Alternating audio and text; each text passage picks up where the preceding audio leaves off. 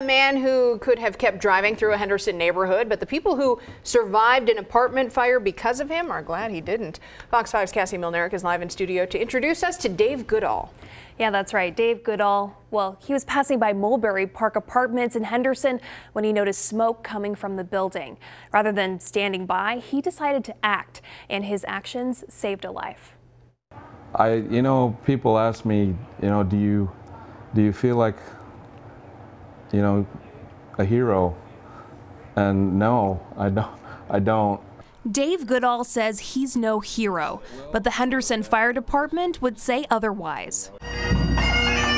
The Henderson Fire Chief awarded Dave the Citizen Heroism Award for his actions on July 2nd, 2018. I don't, uh, I was just a regular guy, you know, that saw a bad situation and just tried to make a difference. He was driving when he spotted black smoke coming from the Mulberry Park apartments. He saw smoke billowing from the front door.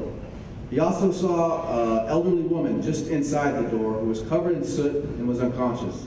Dave pulled an elderly woman from the burning building.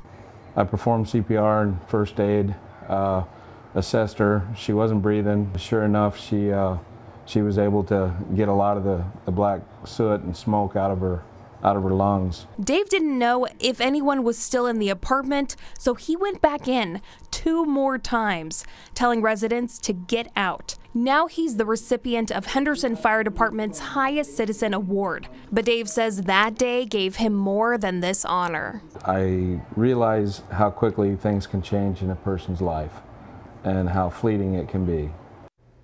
And that elderly woman's life was saved that day because of Dave. He tells me he thinks about her every day and he hopes that she's doing all right.